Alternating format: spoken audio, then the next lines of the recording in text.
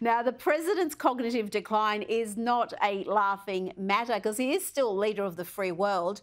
And have a look at this embarrassing blunder during the uh, Quad address just yesterday.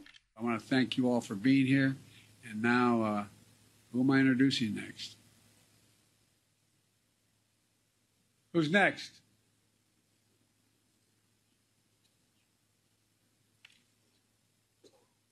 Distinguished guests, the Prime Minister of the Republic of India.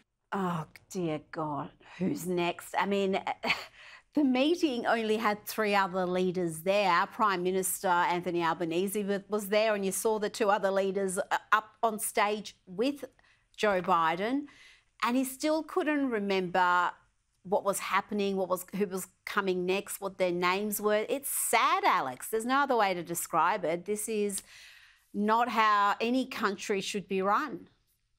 You're exactly right. And everybody knows that Joe Biden's not in charge. You can just tell by the effort that he's putting in. And sadly, that's probably the most assertive I've seen Joe Biden in his four years as president.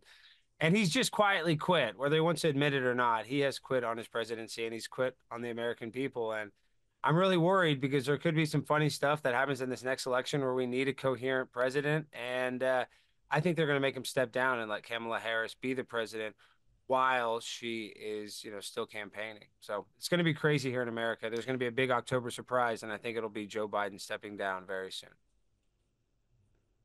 That would be fascinating, and it would be a fairly uh, underhanded tactic, but certainly one that I think will be impactful if uh, they have Kamala running essentially as the incumbent and have give her the prestige of the presidency.